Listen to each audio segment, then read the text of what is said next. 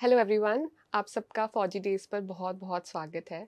आज का एपिसोड हमारे लिए बहुत इंटरेस्टिंग और स्पेशल होने वाला है क्योंकि हमारे साथ जुड़ रहे हैं lieutenant general K G S Dhillon, जिन्हें हम टाइनी ढिल्लों के नाम से बहुत अच्छी तरह जानते हैं अब। एंड लेफ्टिनेंट जनरल ढिल्लों के बारे में तो सबको पता ही है, उनके लिए कोई इंट्रोडक्शन ज़रूरी नहीं है। लेकिन उन्होंने अपने करियर में मिलिट्री करियर में सबसे पहले राजपुताना राइफल्स को ज्वाइन करा है। एंड फिर श्रीनगर के चिनार कोर के वो कोर कमांडर रहे हैं। और रिटायरमेंट के समय वो डिफेंस इंटेलिजेंस एजेंसी के डायरेक्टर जनरल भी थे। एंड हाल ही में फेबररी में उन्होंने अपनी ऑटोबायोग्राफी लॉन्च की कितने गाजी आए कितने गाजी गए जिसको बहुत प्यार मिला है। और लोगों ने बहुत कमेंट किया है कि वो एक ऐसी बुक है जो ना कि इंस्पिरेशनल है बट आर्मी लाइफ के बारे में इतनी डिटेल्स बताती हैं जो हमें शायद पता ही ना हो। सो thank you so much sir कि आप फिर से फौजी डेज़ पर आए हैं। It's an absolute honour to have you over here so so, sir हमने लास्ट एपिसोड में काफ़ी बातें करी थी आपके आर्मी के एक्सपीरियंस के बारे में हमने जम्मू एंड कश्मीर के बारे में जाना कश्मीरी यूथ के बारे में जाना कि उनकी क्या आशाएँ हैं और मिलिटेंसी के बारे में भी बात हुई। लेकिन सर इस एपिसोड में हम लीडरशिप के बारे में बात करना चाहते हैं क्योंकि वो एक ऐसी चीज़ है जिसके लिए हमारी इंडियन मिलिट्री जानी जाती है और वो एक कोर पार्ट है हमारी इंडियन मिलिट्री का। तो सर, मेरा पहला क्वेश्चन बहुत बेसिक है और वो ये है कि बहुत लोग बोलते हैं कि good leaders are born they are not made but हमारी इंडियन मिलिट्री में एक ऐसा प्रोसेस है कि जो लीडरशिप की क्वालिटीज़ है, वो सिखाई जाती हैं क्योंकि वो एक एसेंशियल पार्ट होता है कि जब उनको लड़ना होता है या कोई भी अपना काम करना होता है, वो एक बहुत इंपॉर्टेंट हिस्सा बनता है उस चीज़ का। तो आपके बारे आपका क्या ख्याल है इस बारे में कि लीडर्स एक्चुअली बनते कैसे हैं? Thank you Mahak and good day to you and all your viewers yes yes, जैसे आपने बोला कि लीडर्स ना तो पैदा होते हैं और लीडर्स ना ही क्रिएट किए जाते हैं। लीडर्स इमर्ज करते हैं। Leaders emerge from situations difficult the situation better the leader और जो आपने आर्मी के बारे में बात की मिलिट्री के बारे में बात की मैं बात करूँगा तीनों डिफेंस फोर्सेस के बारे में तो वो एक प्रोसेस होता है जिसमें लीडर की मेंटरिंग चिजलिंग। होती है उसकी थोड़ी ग्रूमिंग होती है पॉलिश होती है शाइन आती है हम्म। जो उभर के सामने आती हैं लीडरशिप क्वालिटीज वो ओवर द ईयर्स आर्मी की ट्रेनिंग या आर्मी का काम करने का तरीका या आर्मी का जो एक concept of family and mentoring है वो बहुत ज़रूरी है हम्म। जब मैं कहता हूँ कि लीडर्स इमर्ज तो मैं आपको एक छोटी सी उदाहरण देता हूँ कई बार होता है रोड साइड के ऊपर किसी टू व्हीलर का एक्सीडेंट हुआ है कोई लड़का या लड़की इंजर्ड है खून बह रहा है हम्म। उसके आसपास करीब करीब पचास लोग इकट्ठे हो जाते हैं बिल्कुल वो लोग अलग अलग एज ग्रुप के होते हैं हम्म। वो अलग अलग सोशल बैकग्राउंड से आते हैं अलग अलग इकोनॉमिक बैकग्राउंड से होंगे अलग अलग एजुकेशन लेवल होगा तो वो जो हैं उनमें से एक लड़का या लड़की 16, 17, 18 साल के सामने निकलती है उस इंजर्ड आदमी को उठाते हैं हम्म। गाड़ी में डालती है रिक्शा में डालती है पास के हॉस्पिटल में ले जाती है। दैट यंग बॉय और the girl has emerged as a leader from that group of varying backgrounds वो जो एक 16-17 साल का लड़का या लड़की एक लीडर के तौर पे उभर कर सामने आए जबकि वहाँ पे 50 लोग भिन्न भिन्न बैकग्राउंड से खड़े थे। So this is where I say leaders emerge from the situation फौज में कई बार ऐसी सिचुएशन आती हैं कई बार इनकाउंटर्स होते हैं एल सी के ऊपर कोई इंसिडेंट्स होते हैं जहाँ पर कोई यंग लीडर वो लांस नायक भी हो सकता है नायक भी हो सकता है लेफ्टिनेंट कैप्टन मेजर वो इमर्ज करता है वो लीडरशिप रोल इख्तियार करता है हम्म। और अपनी टोली को सफल बनाता है और अपनी टोली की हिफाजत करता है। और इसके अलावा फौज में there are different courses then you serve under different people एक चीज़ बहुत ज़रूरी है जो सिर्फ़ फौज में नहीं सिविल में भी ज़रूरी है। आप किसी बॉस के नीचे काम करते हैं दो चार पाँच साल फिर जहाँ आप कंपनी चेंज कर लेते हैं जहाँ बॉस चेंज हो जाता है उस बॉस में कुछ अच्छी क्वालिटीज होती हैं कुछ बुरी क्वालिटीज होती हैं। When you are growing in life and as आप उस बॉस को ऑब्ज़र्व करो। जो उसकी अच्छी क्वालिटीज़ हैं उसको ऑब्ज़र्व करो हम्म। और जो बुरी क्वालिटीज़ हैं उसको भी ऑब्ज़र्व करो। एक पीछे किसी दिल के दिमाग के खाने में रखो उसको छुपा के। जब आप एक टीम का बॉस बनते हो तो जो कुछ अच्छी चीज़ें आपने देखी हैं आज तक के अपने बॉसेस में हम्म। उसको इम्प्लीमेंट करो। जो चीज़ आपने बुरी देखी थी जिसके कारण आपको बॉस पे गुस्सा आता था उसको मत करो। और होगा क्या जो अभी आपके नीचे जो टीम मेंबर्स काम कर रहे हैं जो मैंने बात बोली कि grooming mentoring chiselling polishing shining वो जो टीम मेंबर्स आपके नीचे हैं वो एक अच्छे बॉस को देखेंगे और वो भी कल एक अच्छे लीडर की तरह उभर कर सामने आएँगे। बिल्कुल। So leadership in military is very structured hmm whereas in civil it is not that structured but leadership is there all around you. Hmm हर रोज आपके चारों तरफ़ लीडरशिप क्वालिटीज हैं। ये अभी आपके ऊपर निर्भर करता है। आप पॉजिटिव पिक करते हो या नेगेटिव पिक करते हो? दोनों पिक कीजिए। पॉजिटिव को इम्प्लीमेंट कीजिए नेगेटिव को अवॉइड कीजिए। सर वो पहचानना भी बहुत ज़रूरी है कि वो लीडरशिप क्वालिटीज़ कैसे दिखती हैं आपको उन लोगों में? और फिर ही आप उनको इम्बाइब कर सकते हो सीख सकते हो और अपने लाइफ में इम्प्लीमेंट कर सकते हो। मैं तो ये बोलूँगा बहुत हाँ आसान है। हाँ जिस बॉस की कोई भी क्वालिटी से आपको मोटिवेशन मिलती है आपका दिल करता है वो काम हाँ। करने के लिए तो अच्छी क्वालिटी है हाँ। जिसमें आपको गुस्सा आता है। आप बड़बड़ाते। हुए घर जाते हो घर जाके भी उसको कोसते हो वो बुरी क्वालिटी है। बिल्कुल बिल्कुल। क्योंकि लीडरशिप जो है ना ये आपके सामने है। हम्म, आपने ये उस बॉस के लिए काम नहीं करना आपने अपनी जो आपके बीच में जो काबिलियत है। हम्म, उसको उभार उभारने के लिए उसको संवारने के लिए हम्म, आपको अच्छा बॉस बुरा बॉस दोनों को ही अपनी ज़िंदगी में ढालना है और उनसे हम्म। कुछ सीखना है। बिल्कुल सही बात बोली सर। सर आपकी बुक के पीछे एक ऐसा कोट है जो मुझे बहुत पसंद आया था और वो था अगर इतिहास लिखना है तो किसी को इतिहास बनाना पड़ेगा। तो जब मैंने सर ये कोट पढ़ा तो मेरे दिमाग में एक ऐसा क्वेश्चन आया कि जब हम इतिहास बनाने की बात करते हैं या लिखने की बात करते हैं तो क्या लीडरशिप का हमेशा मतलब ये हुआ कि हमें एक बड़े एक्शन या कोई ड्रामेटिक एक्शन करना है जिससे हम एक अच्छे लीडर की तरह जाना जा, जाना जान पाएँगे लोग हमें या क्या छोटे छोटे एक्शन से भी अच्छे लीडर्स उभर सकते हैं या इमर्ज कर सकते हैं You always start young. You always start small. You should never wait for a earth-shattering opportunity to come your way hmm to emerge as a leader. क्योंकि अगर आप छोटी छोटी चीज़ से कुछ सीखेंगे नहीं failure is Hmm. Part of life failure is just a success which is waiting to happen अगर आप छोटे फेलियर से आप नाकाम या निराश हो जाएँगे हम्म तो जब बड़ी अपॉर्चुनिटी सामने आएगी तो फिर आप उसको मुकाबला नहीं कर पाएँगे। तो कोई भी अर्थ शेटरिंग मूवमेंट है या अपॉर्चुनिटी जैसे हम्म। जिस कोर्ट का आपने एग्ज़ाम्पल दिया हम्म अगर इतिहास लिखना है तो किसी को इतिहास बनाना पड़ेगा। History can only be written if someone creates history so ये अपॉर्चुनिटी आपके पास आएगी। हो सकता है कि आपकी 20 साल की उम्र में आ जाए हो सकता है 40 में 60 में। So this opportunity came my way in fifties but then उसके पहले के जो मेरे कश्मीर के टेन्योर्स थे हम्म। या मेरे काउंटर टेररिज्म के या काउंटर इंसर्जेंसी के हम्म। या interaction with the civil administration interaction with the अवाम वो जो पिछले 30-35 साल का जो निचोड़ था कुछ सक्सेसेस थे कुछ फेलियर्स थे कुछ ड्रॉस थे हम्म। वो सब जो है उसने मुझे ये हिम्मत या शक्ति या इतना एक हौसला दिया कि जब इतनी बड़ी चीज़ सामने आई हम्म।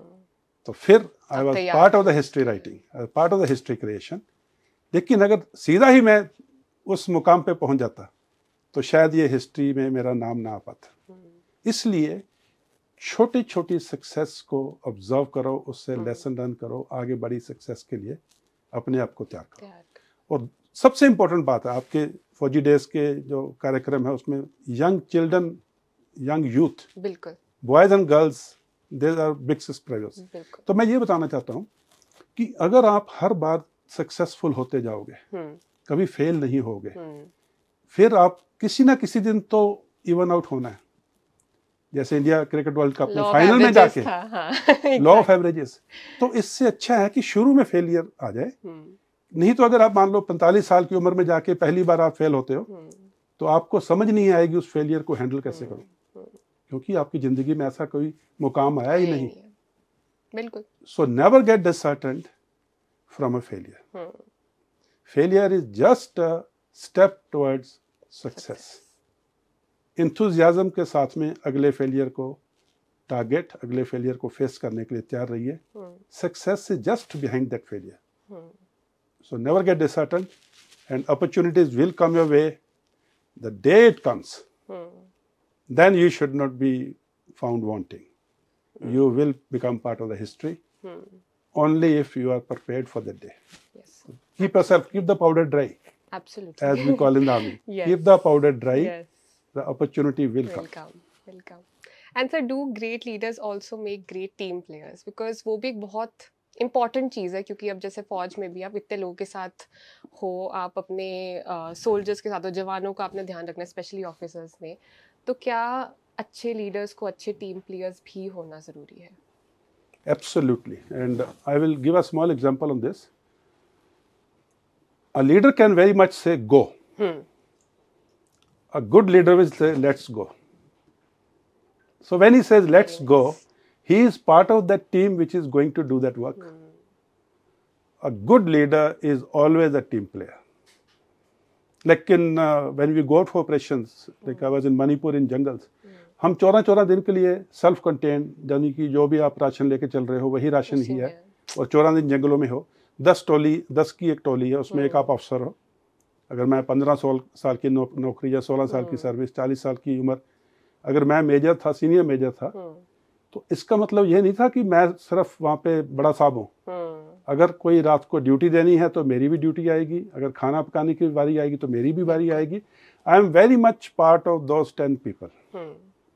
Only difference is कि जब कोई डिसीज़न लेना है कोई प्लान करना है कोई मॉडिफिकेशन करनी है प्लानिंग में या कोई अल्ट्रेशन करनी है क्योंकि मेरे पास इन्फॉर्मेशन ज़्यादा है। ऑपरेशन शुरू होने से पहले हम्म। ऑपरेशन के दौरान रेडियो सेट से इंफॉर्मेशन बिल्कुल। बिल्डअप होती रहती है।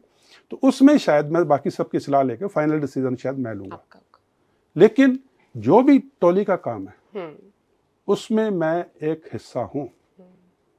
I have a stake in that team all good leaders are always part of the team. A good leader is never above the team or beyond the team. Hmm. He is within the team. Hmm. That is where leadership starts from, and that is where leadership must end. Hmm. Leadership is inclusive. Yes. Leadership is not exclusive. I think that line is very nice कि leadership is inclusive. It Yes. includes everybody. And sir, इसी बात को आगे लेके जाते हुए अ, हमारे officers जो हैं इंडियन आर्मी के स्पेशली वो जाने जाते हैं पूरी दुनिया में कि they are the first ones they lead the battle they lead their people and they are the first ones to take the hit also at times तो उस केस में अब एक तो है कि हम उनको बहुत अप्रिशिएट करते हैं कि वो आगे से लीड करते हैं they lead from the front लेकिन उल्टी साइड पे ये भी है कि हमें बहुत गम भी होता है जब उनको यू नो खो देते हैं। या उस टाइम पे जो बैटल का सिचुएशन होती है वॉर की सिचुएशन होती है, वो और गंभीर हो जाती है because we lose key men in our operation तो उस केस में हाउ डू यू फील मतलब what's the importance of military leadership in that case कि क्या उनको should they always be the first ones to lead the men into battle और war thank you Mahak for asking this question एक आपने ये बहुत अहम सवाल पूछा है। और पिछले करीब कुछ एक दो महीनों से ये सवाल सोशल मीडिया के ऊपर भी हम्म। बहुत से लोग पूछते हैं। हम्म। क्योंकि बहुत लोग हैं जो इन्वॉल्व हैं और जो कंसर्न हैं about the safety of on troops especially the safety of leaders like Kokernag operation हुआ था.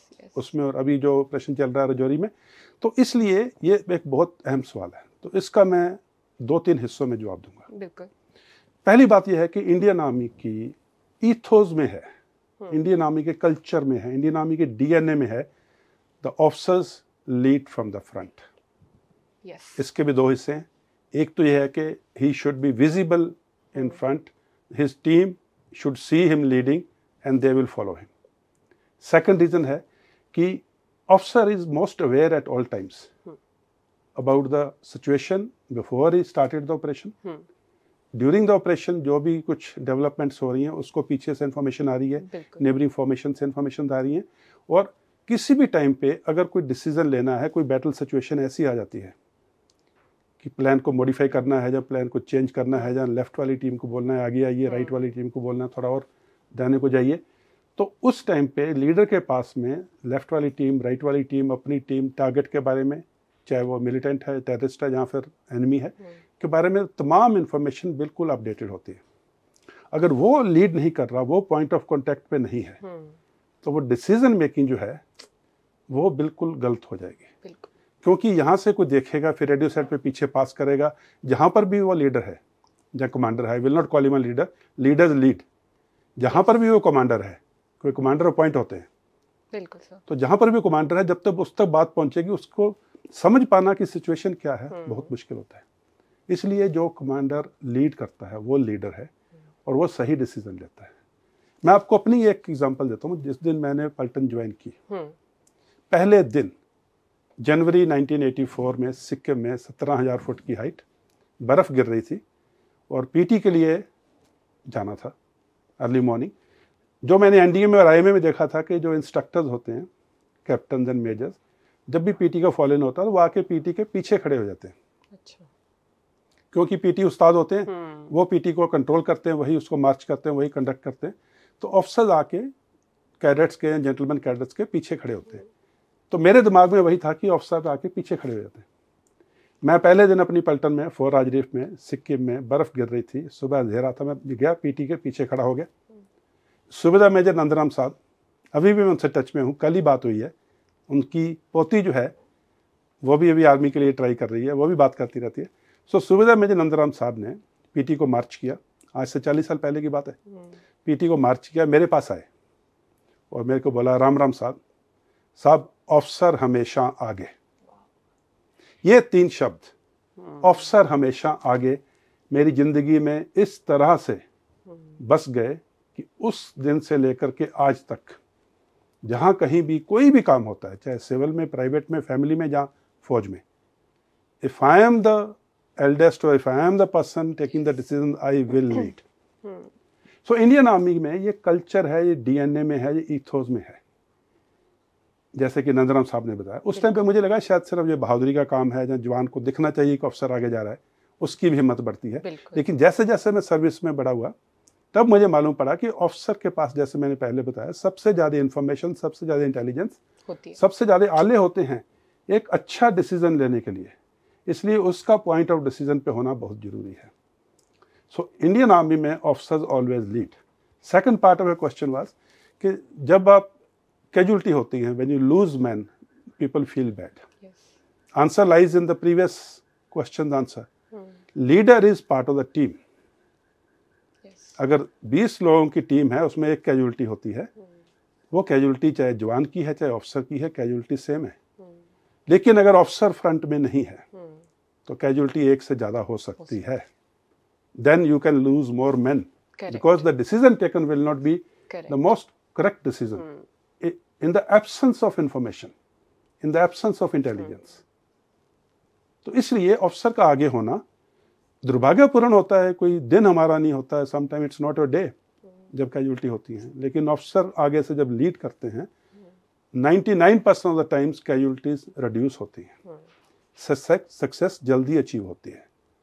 इसलिए इंडियन आर्मी के officers have been leading from front they are leading from front and they will continue to lead from front and they will continue to achieve successes and they will continue to uphold the national flag and देश की इज़्ज़त देश की रक्षा देश का नाम हमेशा ऊँचा रखेंगे। And we are very very proud of them of course क्योंकि ये चीज़ देखने को मिलती है जैसे आपने बोला history is there to tell us हमारे इतिहास में है हमें दिखता है हर दिन अब जैसे ऑपरेशंस होते हैं बैटल्स होते हैं हमें हर दिन दिखता है और इस चीज़ का इसकी चीज़ की रियलाइजेशन होती है कि हाँ हमारे ऑफिसर्स आगे से ही लीड कर रहे हैं और अपने ट्रूप्स को आगे लेके जा रहे हैं। सर इसी का एक और एक्सटेंशन है कि अब जब हम मिलिट्री और नॉन मिलिट्री लीडरशिप में यू नो फ़र्क देखते हैं कि वो क्या है तो मिलिट्री लीडरशिप में ये चीज़ ज़रूर सामने आती है कि ऑफिसर्स को अपने ही जवानों को जोखिम में डालना पड़ता है। वो एक ऑप्शन नहीं होती और वो जीने और मरने का एक सवाल होता है कई बारी। तो आप इस पे क्या बोलेंगे कि ये कितने इंपॉर्टेंट डिस्टिंग्विशिंग या फ़र्क करने का एक फैक्टर है मिलिट्री और नॉन मिलिट्री लीडरशिप में और उसका कितना क्या इम्पोर्टेंस है इस चीज़ की? Thank you again for asking this question मेरी जो अगली किताब है पहली किताब तो कितने गाजी आए कितने गाजी Yes. गए जो नेक्स्ट किताब है वो बिल्कुल इसी सब्जेक्ट के ऊपर है।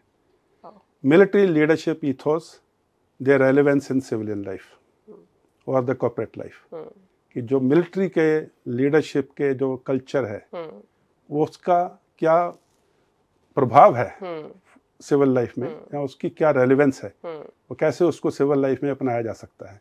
तो ये जो आपने पूछा कि जवानों को खतरे में डाला जाता है और सिविलियन लीडरशिप में ये शायद नहीं होता।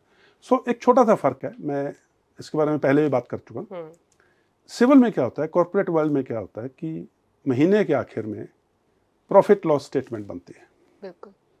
उसमें होता है कि जैसे आपके भी जैसे आप बुक स्टोर रन करते हैं एंड महीने के आखिर में आपका होगा इतना प्रॉफिट हो गया इतना लॉस हो गया। तो कॉरपोरेट वर्ल्ड में महीने के आखिर में एक प्रॉफिट लॉस स्टेटमेंट बनती है। हम्म।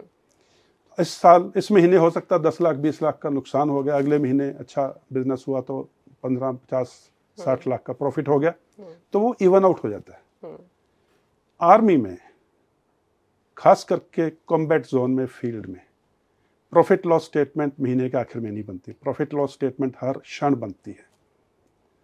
अभी मेरा बडी है और मैं हूँ। नेक्स्ट क्षण मेरा बडी नहीं होगा या मैं नहीं होगा। तो ये प्रॉफिट और लॉस जो है, हर क्षण रहता है। और लीडर को इसका आभास है लीडर को इसकी जानकारी है लीडर को इसका एक्सपीरियंस है। तो वो, जैसे मैं जब कमांडिंग ऑफिसर बना था तो मेरी सबसे पहली जो थी, था सैनिक सम्मेलन।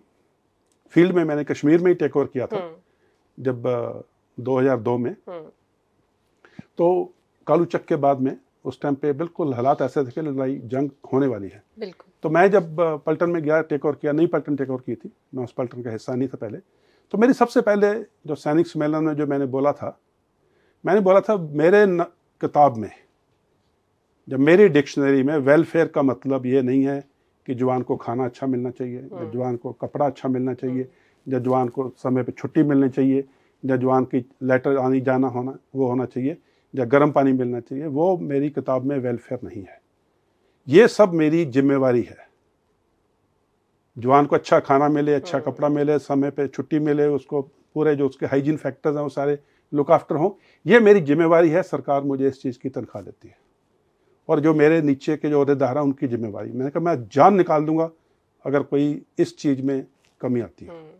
लेकिन एज कमांडिंग ऑफिसर मेरी किताब में आपके वेलफेयर की डेफिनेशन ये है कि अभी लड़ाई होने वाली है और मैं ऐसी तरतीब बनाऊँ, ऐसे आपको लीड करूँ कि हम अपना जो एम है वो अचीव करें सक्सेस अचीव करें देश के लिए और आप सही सलामत अपने परिवार के पास वापस जाओ। ऐसा this is the definition of welfare in my book तो इसलिए लीडर के लिए बहुत ज़रूरी है कि जो अपनी टोली है उसको सुरक्षित रखें। लेकिन जैसे आपने बोला यस मिलिट्री सिचुएशन आती हैं। वहाँ पे at times they are days when it's not a day and you face a failure not a failure you face a critical situation उसको कितनी जल्दी ऑब्जॉर्व कर लेते हैं। क्योंकि एक तो होता है कि आप दस की टोली है पचास की है सौ की टोली है आपका इंजरी हुई दो hmm. चार। एक तो है कि आप उसमें पजल हो गए। Yes. कैसे करना है क्या नहीं करना है। तो उधर से तो दुश्मन प्रेस करेगा।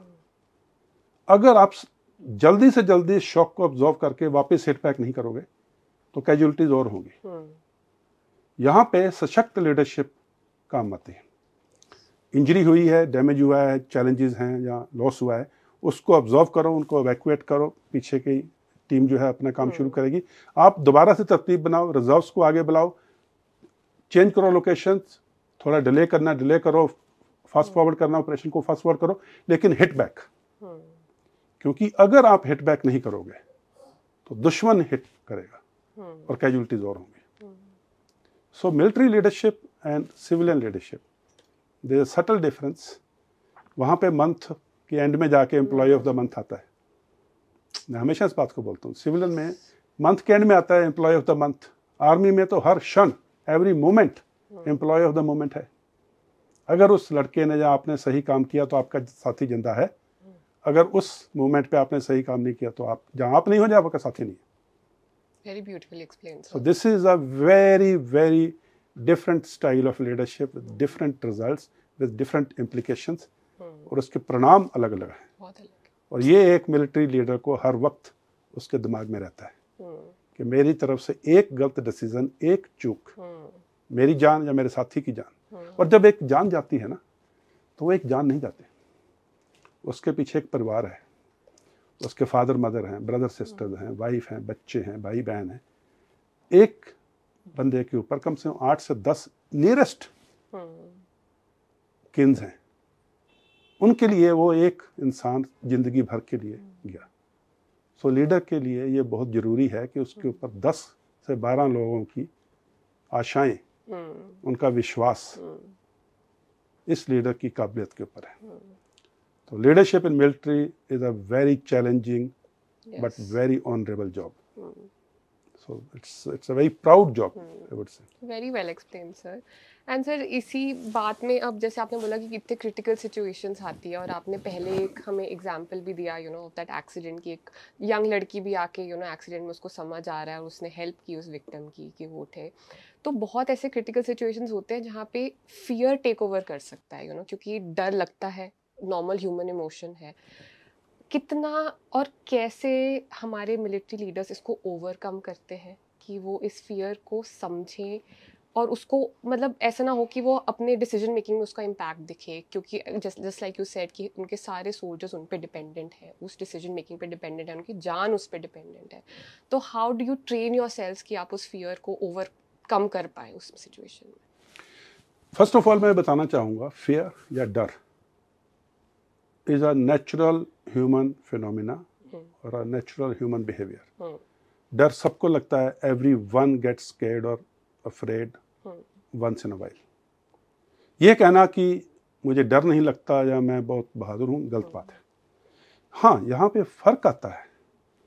जो सिचुएशन क्रिएट हुई है, आप डरे हो या आप डर के नीचे हो, कितनी जल्दी यू ओवरकम दैट फियर या कितनी जल्दी आप उस डर को ऊपर काबू पा करके hmm.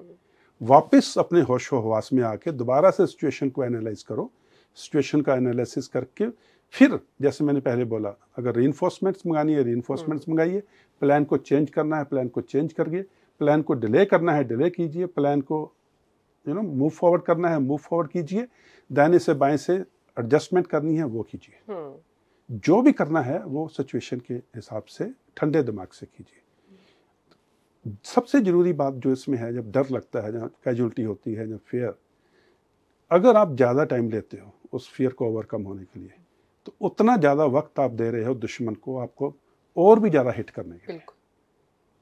तो जब आप यंगस्टर होते हो तो शायद आप ज़्यादा टाइम लेते हो क्योंकि सिचुएशन हम्म। पहली बार आपके सामने आई होती है और आपको अपने ऊपर भरोसा नहीं होता आपके बडी हम्म। के ऊपर भरोसा नहीं होता या हम्म। आपके हथियार के ऊपर भरोसा नहीं होता। ये सब चीज़ फिर ट्रेनिंग में आती है।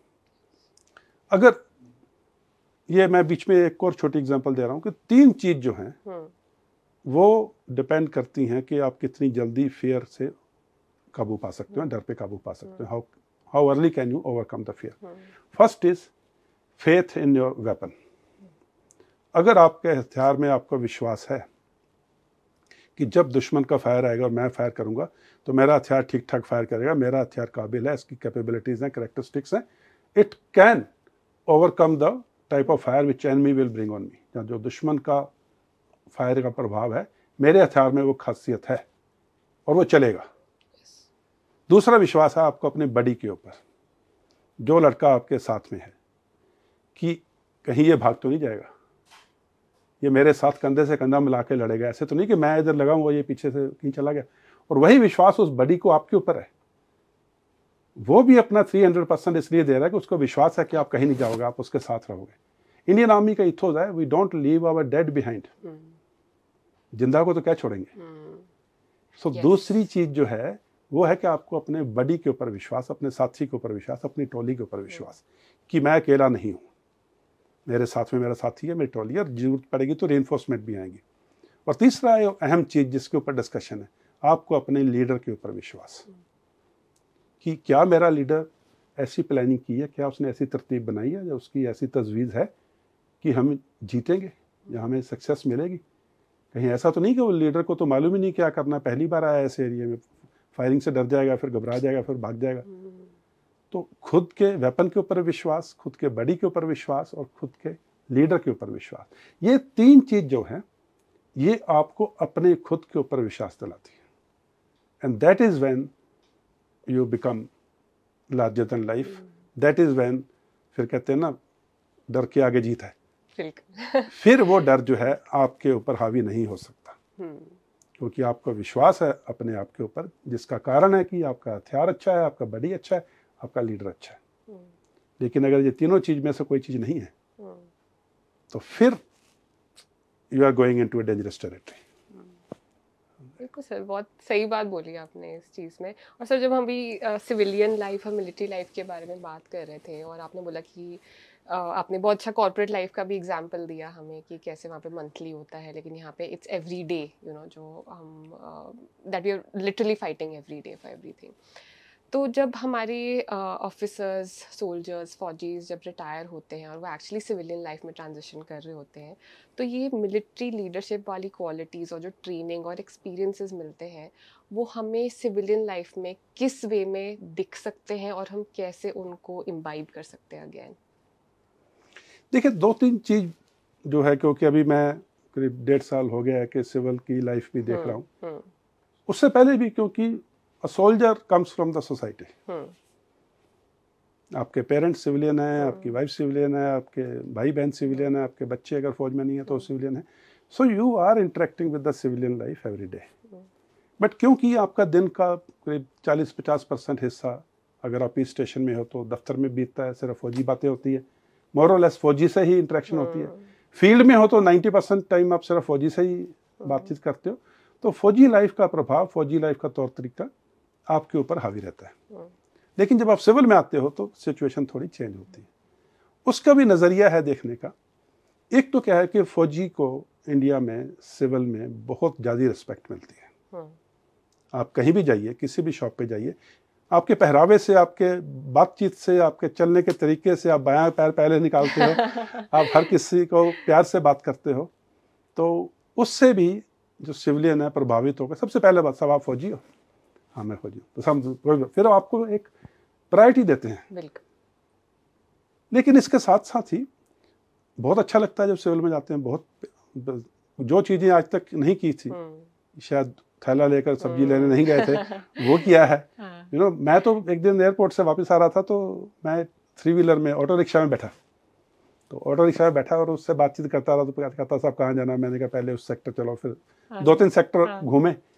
तो वो कहता साहब जाना कि मैं यहाँ पे पहले मेरे मामा जी का घर है और शायद वो नहीं है घर पे फिर just because I wanted to talk to him I wanted to. Enjoy the three wheeler auto rickshaw ride so ये सब चीज़ें करने को मिलता है। हम्म, लेकिन जो एक चीज़ जो बुरी लगती है या जिसका थोड़ा सा हमें एक्सपीरियंस नहीं है कि आप किसी के पास जाइए कुछ काम है फौज में होता है कि आप जाइए काम है तो बोलेगा sir this can be done और this can not be done अगर it can be done sir by day after you will get the thing Hmm. Finish thing कि ये हो जाएगा परसों आपके पास पहुँच जाएगा। जहाँ सर ये नहीं हो सकता। हम्म, तो उसमें फिर ये नहीं है देख लीजिए कर लीजिए भाई साहब वो वाला काम नहीं है। हम्म, सिविल में ये बहुत बड़ी प्रॉब्लम है। हाँ सर देखते हैं करते हैं पूछेंगे परसों फ़ोन करना फिर एक ईमेल भेज देना सर फिर मैं जब मैं तेईस तारीख को सर मैं बाहर जा रहा हूँ फिर वापस आके बात करता हूँ। नो दिस फौज में दफ्तर बंद नहीं होता है। If you have gone home they someone officially civil में जो तो शर्मा जी तो गए हुए हैं जो तेरह तारीख को आएँगे। तो उसके बारे में बात करना। So this is where I think we are losing man hours national Yes. Man hours अगर एक बंदा घर गया दस दिन के लिए उसका जो भी काम था वो बीस लोगों से डील कर रहा था। हम्म, तो 200 लोगों को दस दिन के 200 days two hundred human days have been wasted and this impacts the national growth absolutely sir बोलते भी है ना हम इंडियंस एक इंडियन स्टैंडर्ड टाइम पे चलते हैं लेट होते हैं यू नो तो आई थिंक यही है जो मिलिट्री में it's ownership you know you have to be on time एक पंक्चुअलिटी है एक यू नो वो स्ट्रेंथ और वो अंदर से आती है जो Yes. आपको ट्रेन किया गया है. आई थिंक वही एक सिविलियन लाइफ में कई बार मिस हो जाती है जो आप सही बोल रहे हो no your experience is a very different क्योंकि आपने ऐसा देखा ही नहीं है you are not used to connected to connected to this someone other day asked me on uh, twitter कि सर हाउ कम आपकी एक इमेज है। हाँ. हमने आपको टीवी पे देखा आपकी प्रेस कॉन्फ्रेंसेस देखी हाँ. आपने जो कश्मीर में काम किया है वो एक अग्रेसिव इमेज है। बिल्कुल। लेकिन जब हम आपको ट्वीट में कमेंट करते हैं जो आपका रिप्लाई आता तो सर मैडम Yes. बहुत पोलाइट यस तरीके से आप बात करते हो। तो ही सेज वो सच है कि ये सच है? तो my answer to him was I said see aggression is a very powerful human attribute. Aggression you must have. Aggression you must keep. Aggression keeps you going. हम्म aggression इस्तेमाल करने की सही जगह होती है। हम्म आप अगर अपने जॉब में आपने कोई टारगेट अचीव करना है वहाँ पे भी एग्रेसिव हम्म आपको लगता है कि ये काम तीन महीने में नहीं मैं दो महीने में कंप्लीट करूँगा वहाँ पे भी एग्रेसिव वो जो एग्रेशन है ना आपकी वो बेमतलब से ट्विटर के ऊपर या उसके ऊपर उसको वेस्ट मत करो। इट्स अ वेरी पावरफुल वाचू जिस आदमी को आप जानते नहीं हो जिस आदमी को आपने पहचाना नहीं नाम भी पता नहीं उसका हैंडल का सही नाम है कि नहीं है आप उसके खिलाफ अग्रेशन दिखा रहे दिखा रहे हो। A social media platform like I said last time social media means you interact socially and there is a medium given to you आप उनसे सीखिए वो आपसे सीखेंगे। लेकिन अगर आप उनको गाली दे रहे हो आप तो वो फिर गलत बात है। So aggression must be control aggression must be kept for the day it is required till then be a human hmm, be a human being because भगवान ने एक ज़िंदगी दी है। सो उस ज़िंदगी का सही इस्तेमाल कीजिए जो आपका दूसरा हिस्सा है अग्रेसिव हिस्से को छोड़ के उस हिस्से को इस्तेमाल कीजिए जब अग्रेशन की ज़रूरत हम्म, I am not saying don't be aggressive aggression is very important not only only in military, in every field, aggression is important. You got to do your job aggressively. Is the nearest word. बिल्कुल तो ये सिर्फ़ leadership traits नहीं है ये human traits हैं। How you evolve these traits how you channelise these energies what sets you hmm, like English की कहावत है ना कि this is how the boys get separated from man और man get separated from boys that is what differentiates how you handle a situation so ये aggression बहुत ज़रूरी है और लीडरशिप में खास करके बहुत ज़रूरी because your team is looking at you they may be very energetic boy और गर्ल इन योर टीम और may be the whole team but if you are ढीला ढाला if you are laid back if you are नहीं ऐसे करते हैं Monday को बात करते हैं आप जो उनका जो इनिशिएटिव था उसको भी किल कर रहे हैं। You are killing their aggressive spirit you are killing the जोश इन देम। तो वो टीम मेंबर जो है ना एक बहुत बड़ी जिम्मेवारी होती है लीडर की कि नई लीडरशिप को ग्रूम करे। सो ये सारी चीज़ें ट्रेनिंग से बेहतर आती है कि एक्सपीरियंसेस से बेहतर आती है? देखिए ट्रेनिंग जो स्ट्रक्चर ट्रेनिंग होती है हम्म, एक होती है on the job training correct my learning मैं पर्सनली बता रहा हूँ my learning 95 percent is on the job training only five percent is a structure training structure training में भी अगर वो फाइव परसेंट भी है तो उसका भी एट्टी परसेंट जो हिस्सा है हम्म, वो बुकिश है। Correct some theory they are teaching of a person who is hmm, died about 200 years ago उसकी कोई एक थ्योरी है लीडरशिप के बारे में उसका बता रहे हैं। ना अभी लीडरशिप ट्रेट्स बदल गए हैं लीडरशिप की सिचुएशन बदल गई हैं लीडरशिप हमारी जो है रहना सहना बदल गया है हमारा नज़रिया बदल गया है। अगर हम कहते हैं कि we are not India of yesterday then how can I be a human being of yesterday yes आज की जो सिचुएशन है जो आज की एनवायरनमेंट है आज के जो चैलेंजेस हैं आज की जो मेरी जो पावर है मेरे पास उसके अंदर मेरे को लीडरशिप ट्रेट्स अपने दिखाने हैं। और मेरी ज़िंदगी में आर्मी में जैसे मैंने बोला 95 percent learning has come from jawans J senior officers क्योंकि वो एक खजाना है एक्सपीरियंस का। आज भी अगर कोई बात होती है तो जो मेरा सीनियर है वो मेरा सीनियर ही है। बिल्कुल he may have retired as a major he may have retired as a colonel और ब्रिगेडियर और जनरल हम्म, लेकिन जो उनका तजर्बा है वो आज भी सीख देता है। And because they are evolving with time so leadership like we said initially leadership emerges from situations hmm, situation जितनी ज़्यादा गंभीर है लीडर उतना ज़्यादा मज़बूत इमर्ज करेगा। अगर आपके पास सब कुछ है यू नो फिर तो बहुत इजी है लीडरशिप अगर आपके पास में यू नो तीन पेस बॉलर्स हैं वर्ल्ड क्लास दो स्पिनर्स हैं वर्ल्ड क्लास तीन ऑलराउंडर्स हैं वर्ल्ड क्लास विकेट कीपर है फिर तो क्या प्रॉब्लम है?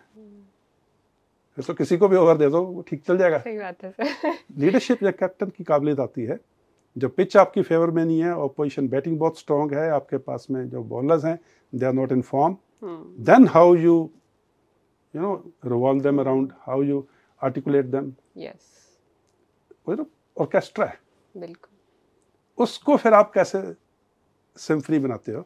That is where leadership is बहुत अच्छी एनालॉजीज दे रहे हो सर। आप is also very nice one and sir जो हमारे अब हमारे प्लेटफॉर्म पे इतने यंगस्टर्स है यूथ है हमने लास्ट टाइम आपने जैसे बहुत स्पेसिफिकली कश्मीरी यूथ की बात करी थी और बोला था कि उनकी भी कितनी आशाएँ और जो आज वो कंधे से कंधा मिलाकर चल रहे हैं पूरे देश के साथ।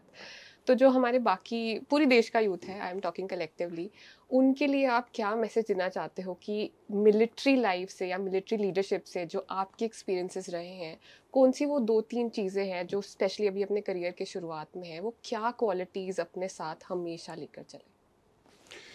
सबसे पहले तो मैं हमेशा बोलता हूँ कि when you look at and this is also for the girls जो हमारी बेटियाँ हैं जो लड़कियाँ हैं जो जहाँ तो आर्मी ज्वाइन करना चाहती हैं हम्म। तो मैं कहता हूँ आर्मी तो आर्मी नेवी एयरफोर्स जहाँ आर्मी नेवी एयरफोर्स में जो ऑफिसर हैं जवान हैं उनके साथ शादी करना चाहती हैं। तो दोनों ही हालात में वो लड़कियाँ एक नए परिवार में जा रही हैं। अगर वो जॉब कर रही हैं तो एक डिफरेंट एनवायरनमेंट है आर्मी का सिविल में कॉर्पोरेट वर्ल्ड में वो एनवायरनमेंट डिफरेंट है। और अगर वो शादी करके जा रही हैं फौजी के साथ तो वो भी एक हालात अलग है। बिल्कुल। साल में हो सकता है आप दो महीने इकट्ठे रहो। तीस तीस दिन बीस बीस दिन शायद आपकी बात भी ना हो सके। आजकल तो मोबाइल आ गए हैं, पर फिर भी सिचुएशन वैसी हो सकती है। तो वो एक अलग माहौल है, एक अलग ज़िंदगी है, लेकिन बहुत बढ़िया ज़िंदगी है, बहुत बढ़िया परिवार है। तो सबसे पहले तो मैं ये बताना चाहता हूँ कि don't get carried away by looking at a smart, young, handsome captain. वो स्मार्ट, यंग, हैंडसम है क्योंकि वो रिटर्न पास करके आया है वो साइकोलॉजी हाँ। टेस्ट हाँ। पास करके आया है वो एसएसबी पास करके आया है वो मेडिकली फिट है और उसके बाद में उसकी ट्रेनिंग करके उसको बिल्कुल जो थोड़ा बहुत वज़न देने बाएँ था वो भी चीज़ आउट कर दिया। And he is a smart chap he is handsome chap he is dresses up well उसकी ट्रेनिंग है ग्रूमिंग है उसको बताया जाता है कि बेटा दिन के टाइम में ये कलर्स पहनने शाम के टाइम में ये कलर्स पहनने हेयर कट ऐसी होनी चाहिए आपका पहरावा तौर तरीका बातचीत ऐसी होनी चाहिए। So what you are looking at and trying to compare कि यस मैंने मैथ मेरे में तो ये नहीं है। दैट्स अ फिनिश प्रोडक्ट वो एक फिनिश प्रोडक्ट है जिस जिस टाइम पे वो रॉ प्रोडक्ट था। हाँ। सोलह सत्रह साल का लड़का जब वो एनडीए के लिए एग्ज़ाम दे रहा था तो जो आज आप देख रहे हो छब्बीस साल के कैप्टन में वो हाँ। नहीं था वो हाँ। दस साल पहले। दस साल की जो ट्रांसफॉर्मेशन है वो एक प्रोसेस है जिसके बारे में हमने पहले बात की। स्ट्रक्चर भी है नॉन स्ट्रक्चर भी है। तो ये सोचना कि यार मैं तो ऐसा नहीं बन सकता। अभी मेरे को कोई बोले आप मेरा बायो पढ़ के बताओ कि M S C M phil P H D तो कोई बच्चा बोलेगा यार मेरे तो नंबर सेवेंटी परसेंट आ रहे मैं तो मुश्किल है। तो मैं बताऊँगा बेटा मेरे तो पचपन भी नहीं आते थे। I have failed in a class I have failed in my exams in school and that does not mean कि I couldn't have achieved what I have achieved similarly जो लड़का या लड़की अभी स्कूल में है या कॉलेज में है दे शुड नेवर थिंक भी मेरे में ये कैपेबिलिटी नहीं है। Failure I said is the stepping stone failure is part of life failure is just a step short of success तो ये नहीं सोचना कि मैं वो नहीं बन सकता। You be honest and integrity होनी चाहिए। दो क्वालिटीज़ हैं। इंग्लिश बोलनी कोई प्रॉब्लम नहीं है सिखा देंगे। फ़िज़िकल फिटनेस कोई प्रॉब्लम नहीं है ट्रेनिंग में हो जाएगी। बाकी वो स्मार्ट यंग हैंडसम वो सब कुछ हो जाएगा। आप में सिर्फ़ होनी चाहिए तो ईमानदारी वफादारी ज़िम्मेदारी। क्योंकि ये चीज़ें नहीं आती हैं वक्त के साथ। बाकी सब कुछ आ जाता है। कपड़े पहनना आ जाता है इंग्लिश बोलना आ जाता है अच्छे से स्मार्ट खड़े होना जाता है। लीडरशिप क्वालिटीज़ धीरे धीरे इवॉल्व हो जाएँगी। लेकिन अगर नहीं होगी तो ये ईमानदारी वफादारी ज़िम्मेदारी। ये तीन स्तंभ हैं फौज के। हम्म। जिसके ऊपर फौज चलती है क्योंकि मैं आपको एग्जांपल देता हूँ ईमानदारी और वफादारी सब समझते हैं ज़िम्मेदारी जो है ना ज़िम्मेदारी है कि आप हाई एल्टीट्यूड में या काउंटर टेररिस्ट एरिया में किसी पोस्ट पे हो या किसी एम्बुश में हो दस लोगों की टोली गई है तो आपकी दो जनों की जिम्मेवारी है बाकी बर्फ़ गिर रही है बीस फुट बर्फ़ में हम्म। बाकी लोग आराम से टेंट के अंदर या बंकर के अंदर सो रहे हैं हम्म। आप दो लोग ड्यूटी पे हो। तो ये आपकी ज़िम्मेदारी है कि आप वो ड्यूटी सही तरीके से दो। ऐसा नहीं होना चाहिए कि बाहर हवा चल रही है ब्लिजर्ड इज़ देयर तो आप छुप के किसी कोने में बैठ जाओ हुड नीचे करके। हो सकता है दुश्मन हमला कर दे हो सकता है टेररिस्ट अटैक कर दे। तो जो अंदर आठ लोग सो रहे थे क्योंकि आप जिम्मेवार थे उनकी सुरक्षा के वो आपने नहीं निभाई। तो अगर आप में वो सोलह साल में वो ज़िम्मेदारी का जज्बा नहीं है तो पंद्रह साल बाद में आपके कारण आठ लोगों की जान जा सकती है और आपकी भी। वो लोग इसलिए आराम से सो रहे हैं कि आप जिम्मेदार हो। और जब आप अंदर आके सोओगे आप इसलिए सोओगे कि वो ज़िम्मेदारी से काम करेंगे। So it's a mutual faith mutual trust तो ये बहुत ज़रूरी है कि 16 साल की उम्र में आप में ईमानदारी होनी चाहिए ऑनेस्टी होनी चाहिए इंटीग्रिटी होनी चाहिए कमिटमेंट होनी चाहिए वफादारी होनी चाहिए। बाकी सब कुछ आ जाता है। So my honest advice is don't feel कि भी आप में एजुकेशन स्टैंडर्ड्स ठीक नहीं है आपके लैंग्विस्टिक स्किल्स ठीक नहीं है आपकी फ़िज़िकल स्टैंडर्ड्स ठीक नहीं है all this can be haunt ये सब आ जाएँगे। आप सिर्फ़ और जब आप एसएसबी में जाते हो या इंटरव्यू में जाते हो टेल द ट्रुथ मेरे साथ मेरी इंटरव्यू में एक उस टाइम पे यू नो इंटरव्यू का लड़का था उसने सीधा बोला जब ग्रुप डिस्कशन हुई कि श्रीमान हमें इंग्लिश नहीं आती है। हम्म, हम क्या अपना हिंदी में व्यक्त कर सकते हैं? तो जी टी ओ जो भी थे इंटरव्यू अफसर जहाँ थे, हम्म। उन्होंने बोला ठीक है बोलिए। That officer retired as a general officer wow, and is a matter of time he was speaking damn good English लेकिन जो उसका दिमाग था हम्म, वो तो किसी भाषा से संबंधित ही नहीं है। हाँ उससे नहीं था ना। उसका तो it not restricted because of language his ideas were he could deliver his ideas he could you know express himself in the language which he was comfortable with. Hmm, बाद में जब वो दूसरी भाषा में कंफर्टेबल हुआ तो बिल्कुल। भाषा आ सकती है जो आपका दिमाग है वो नहीं आएगा। So, इसमें एक मेरा क्वेश्चन है कि जो आपने क्वालिटीज़ बोली स्पेशली ज़िम्मेदारी की जो बात है अब जब हम आर्मी लाइफ की बात करते हैं मिलिट्री लाइफ की बात करते हैं तो हमें अपना एंड गोल या उसके जो कॉन्सिक्वेंसेज है वो सामने पता है। जैसे आपने बोला कि आठ लोग उस पर डिपेंडेंट है उसको पता है कि उनकी जान मेरी ज़िम्मेदारी है। जब हम कॉरपोरेट लाइफ में आते हैं या इवन कॉलेज लाइफ जो भी आप करियर मान लो, उसमें ये जो कॉन्सिक्वेंस होता है, ये कई बार इतना एविडेंटली सामने दिखता ही नहीं है किसी को कि क्या मतलब कि कोई कंपनी का ग्रोथ है या कोई टास्क है या प्रोजेक्ट है या क्लाइंट है जो भी है आपके सामने उसके कॉन्सिक्वेंसेस कई बार हमें पता ही नहीं होते कि हमारी कंट्रीब्यूशन कितनी बड़ी है उसके अंदर। तो हम ये ट्रांजिशन ज़िम्मेदारी का स्पेशली कॉर्पोरेट लाइफ में कैसे कर सकते हैं? प्रैक्टिकली ये समझना कि एक ज़िम्मेदारी सबको निभानी है अपनी कंपनी में और वो मतलब कैसे आप पर्सनल ग्रोथ से उसको कैसे लिंक करेंगे? बहुत अच्छा सवाल है। होता क्या है कि जब आप कॉर्पोरेट वर्ल्ड में हम्म, जब आपकी बोर्ड मीटिंग या बोर्ड जहाँ आपका जो टीम मीटिंग होती हम्म। है। You are in a is a PowerPoint presentation which is given you know जो goals are set and then your targets are set and other things are set and then timelines are there and then you are told के बेटा बेटी ये boy और girl this is what you have to achieve by next quarter और this quarter और this month और year on year whatever it is वो most of the time it is quantified in terms of money कि आपका target है 20 लाख हम्म, या 15 लाख या दो करोड़। करेक्ट मतलब हो सकता है कि दूसरे वेरिएबल्स भी हों कि आपका ये मेन वाले ये या मेन बेसिकली वही होता है जहाँ आपकी बुक सेल्स जो है अगले महीने तीस हज़ार बुक सेल्स होनी चाहिए but it is ultimately converting to finances लेकिन जब हमारे यहाँ पे मिलिट्री में जब यंगस्टर की या टीम की ब्रीफिंग होती है तो उसमें ये होता है कि हमारा टारगेट है सामने ऑब्जेक्टिव कैप्चर करना। अगर वो ऑब्जेक्टिव कैप्चर कर लेंगे तो देश में हम हमारी जीत के चर्चे होंगे या अगली जीत के लिए हम एक पायदान बनेंगे। सो so, हमारे जो काम है जो हमारा जो एक्शन है उसके ऊपर देश की इज़्ज़त निर्भर है। एक करोड़ चालीस एक सौ चालीस करोड़ भारतीयों का विश्वास बिल्कुल। उसके ऊपर है कैप्टन विक्रम बत्रा। बिल्कुल। उसके लिए यह नहीं था कि ये पीक कैप्चर करने से मेरे को पाँच लाख है मेरी कंपनी को दस लाख का फ़ायदा होगा उससे ये था कि जो घुसपैठिए हमारे देश की सीमा के अंदर आ गए हैं उनको वापस भेजना है।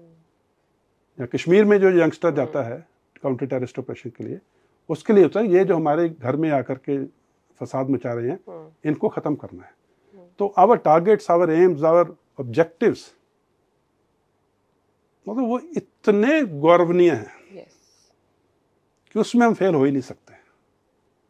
कॉर्पोरेट वर्ल्ड में ठीक है नहीं ऑब्जेक्टिव अचीव हुआ नहीं sir give me fifteen days more वहाँ पे फिफ्टीन डेज़ मोर का स्कोप नहीं है। तो इसलिए वहाँ पे जब फौजी जो है उसके लिए ये नहीं है कि there no runners up in war वो वहाँ पे ही बोलेगा कि सर इसके लिए मुझे ये तीन चीज़ और चाहिए।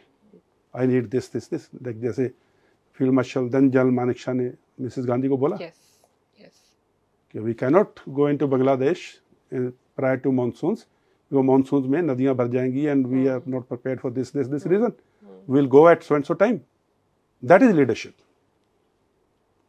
if it was a weak leadership and sir okay sir will go now और ma'am will go now we would suffer casualties we may not have achieve the success which we achieved that is courage of conviction is very much part of leadership और courage of conviction का भी एक leadership में या military में एक महत्व है। hmm.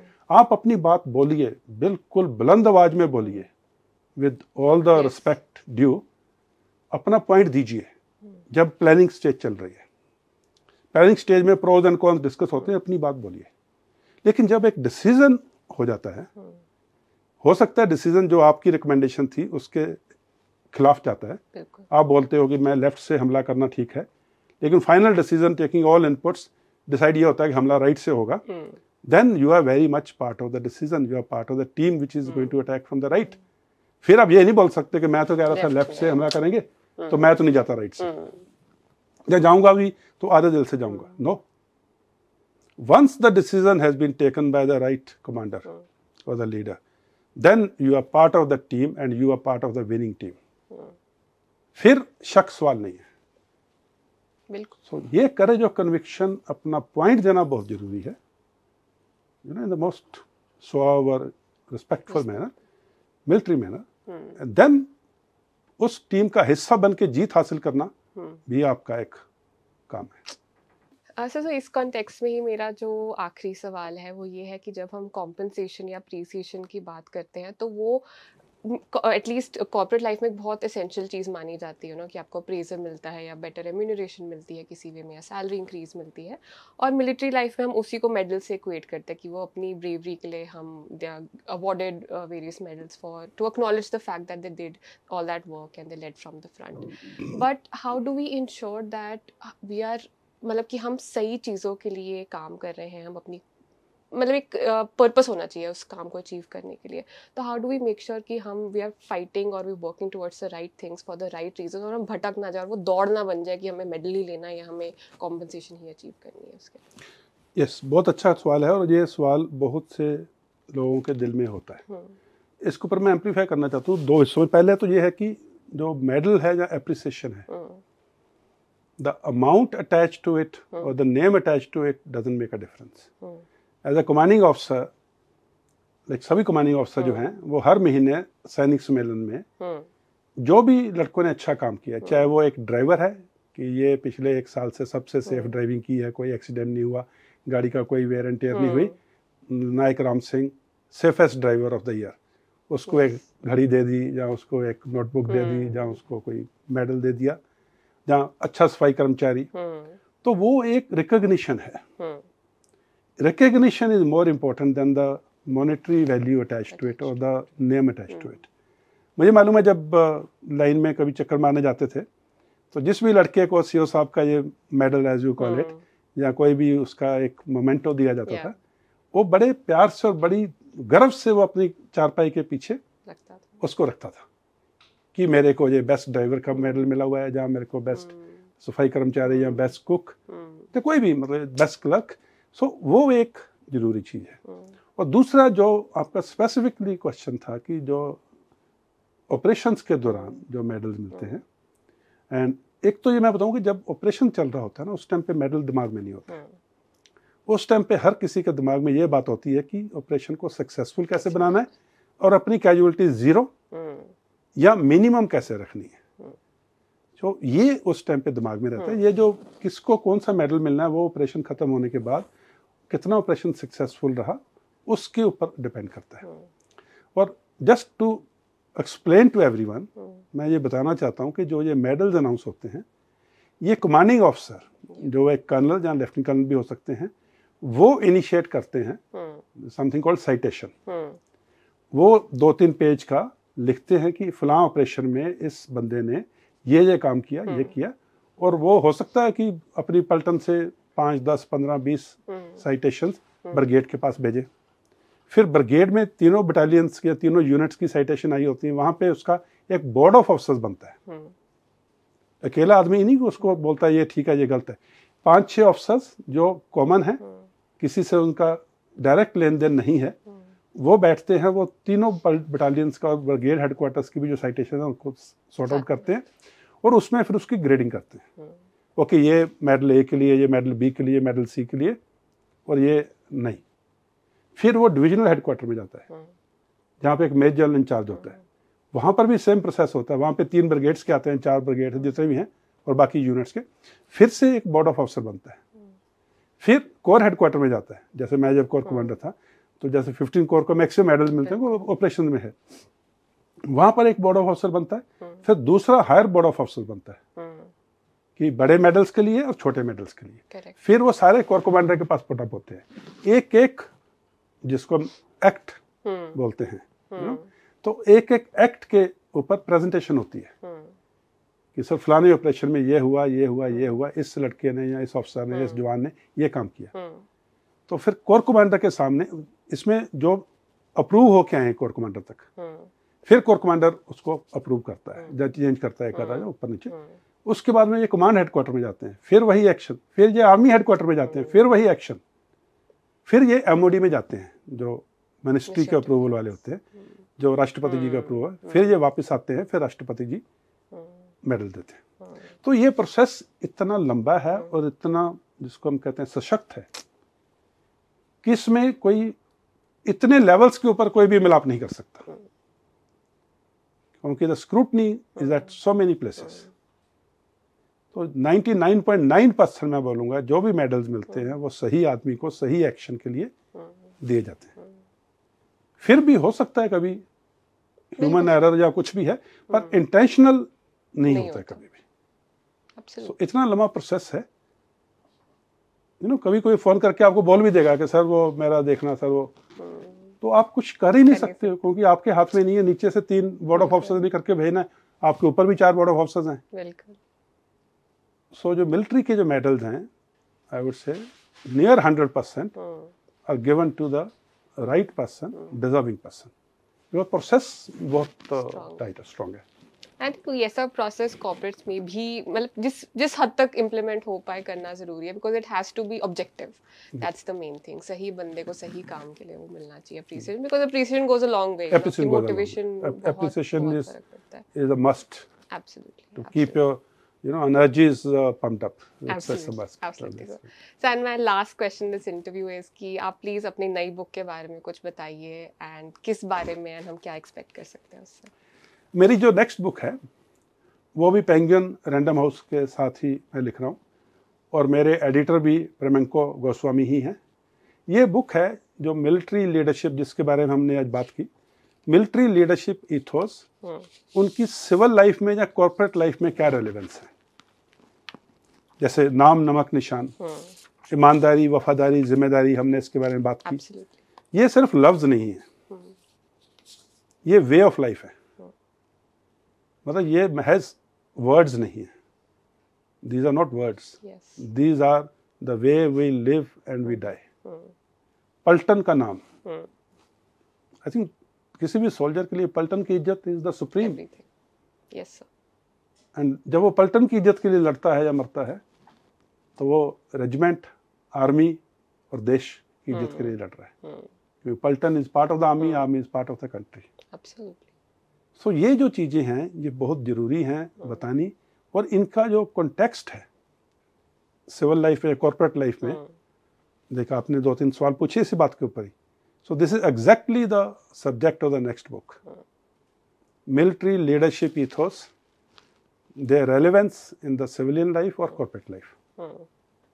So next book मैंने लिखने start कर दिए And when can So- we expect it? uh, next year Next year. Wonderful. So we're looking forward. 2024 I think it should be there. Wonderful. Sir जाने से पहले एक छोटा सा रैपिड फायर है फिर से जैसे हमने लास्ट टाइम करा था जस्ट फाइव सिक्स क्वेश्चंस और आपने एक एक लाइन में एक एक वर्ड में आंसर देने so, so the first question is: Is leadership a sprint or a marathon? I think leadership is a lifelong journey. A mix of both. Yeah, mix of both. at times you sprint, at times you take it easy, but in the end, it goes to grave with you. Absolutely. Yeah. So, your favorite military leader? I think favorite military leader Sam Bahadur Manekshaw. Wonderful. And, uh, and, your favorite civilian leader? Civilian leader, uh, if you go back into the history, Chanakya. Mm. Mm, very nice. You know, Kotalya was mm. one person who was not a military leader, mm. but he knew exactly what is to be done. Sharp, sharpness sharp, of mind, absolutely. And if you go into the military leaders, I think Guru Gobind Singh Sahib, hmm. Chhatrapati hmm. Shivaji, hmm. they were great military commanders, great military strategists. Our own history. In our history is replete with such uh, great leaders I in agree, the past. I agree. Netaji Subhash Chandra Bose. Yes. So, Sir, any military course or school where you feel that they teach military leadership the best? I think uh, Defense Services Staff Course. DSSC, commonly known as Staff College, Hmm. without letting you know, Hmm. they teach you the leadership qualities, they teach you the team spirit, they teach you how you should evolve or grow in the military environment. Hmm. It's a wonderful course. It's an all arms and services course. There are a lot of foreign officers uh, also part of it. Faculty is also all arms and services. And Nilgiri is near Ooty, Yeah. uh, Wellington. The is location the is most perfect. salubrious climate. Yes. Absolutely wonderful place to undergo a course of one year. Hmm. I think that is the bedrock where you actually start feeling that now you are getting into a different mold altogether. Wonderful, wonderful. And so, apart from the Indian Army, which army in the world do you feel has good leaders? See, uh, like it is a military phrase. There are no good or bad armies. There are good or bad leaders Hmm. or the military commanders. So again, जो मौके का commander है, Hmm. he is the one who is the best. And if you go by the history and you go by how in the recent history, I'll say post independence, and how the militaries have behaved, Hmm. Indian Army Hmm. and the Indian Army leaders, Hmm. most ethical operations, Yes. most transparent operations, Yes. going by the rule of the law, answerable to the civilian authority, answerable to the courts of the land, Hmm. and still doing a job in the most perfect manner. You know, except for 1962, which has its own reasons. Absolutely. Each and every war, whether it's a full scale war, Hmm. or it's an out of area contingency, or it is counter-terrorism, counter-insurgency within the uh, on uh, boundaries. Indian Army leaders and Indian Army men have proved time and again that most ethical army, the most operationally fit army, Hmm. and ever ready to go into operations. May it be military operations, may it be natural calamities, may it be aid to civil authorities, or may it be out of tunnel yeah, rescue tun- tunnel uh, escape yesterday, tunnel rescue, or may it be like tsunami Hmm. or earthquake in Nepal, earthquake in Turkey. Yes. These are incidents which happen suddenly. Then you can't say that we are not prepared. Yes. Yes. So Indian military is prepared for all contingencies at all times, and it's more relevant because India has India is the only country in the world with two nuclear neighbors, Hmm. and not both of them not your friends. Yes. Yes. So that's how the complex yes. military leadership in Indian context is. Absolutely. I agree. I agree. So, do great leaders make mistakes? Yes, And how do they deal with them? every human being is bound to make mistakes, and mistakes are what you judge hmm. in the hindsight. Hmm. Great leaders take initiative, great leaders take bold decisions, great hmm. leaders take team decisions. Great leaders take decisions in the best interest of the army and the nation. Now, in the hindsight, somebody can go and say, he did not do this right, he did not do that right. Yes. Because at that moment, he was responsible for taking the decision. And as they say, it was his neck. Hmm. Hmm. Hmm. hmm. He took the decision. The Absolutely. first question you asked, इतिहास लिखना है तो किसी को इतिहास बनाना पड़ेगा. That was a great decision to abrogate Article 370. Now, in the hindsight, it has gone right. Yes. And everyone is saying, oh, yes, wonderful. Know, personally, people are saying, you did a damn good job. If it had not gone right, if there were some many hmm, civilian casualties, hmm, hmm. if there was unrest, if there was mutiny and other things, then the same people would have said, no, no, bad decision. Contradict. Absolutely. So, great leaders take great decisions in the face of adversity. That is the quality of a great leader. And in the hindsight, the history will judge. Yes. So, that's when you say they make mistakes. Absolutely. So, any unsung leader that you want to mention? I think every second soldier is an unsung hero Very nice. because a lot of actions, a lot of bold acts, hmm. they don't get noticed, hmm. observed, captured, hmm. documented, or praised. Absolutely. There's something called fog of war. Hmm. So unintentionally also, lot of heroes. Yes. They're not they remain unnoticed and as a you know cursory, hmm. cursory, uh, as a fallout hmm. they remain unsung. That is where at india gate hmm, that amar jawan Amar jyoti. Jyoti is there. Absolutely. the rifle and the helmet is of a uns- uh, unknown soldier who, who Nice. did his That's- best for the country Absolutely, sir. And it's important to celebrate and also know that there are Yes. people who have. you must you must always be aware Hmm. एक साथी और भी हम्म, था who did much more hmm and remained unsung. Absolutely ठीक absolutely है? So only he may have got a medal. That's different issue altogether. But notwithstanding that, he may not have got recognition hmm what he did. Hmm, hmm. So I would say every second hmm. soldier is an unsung hero.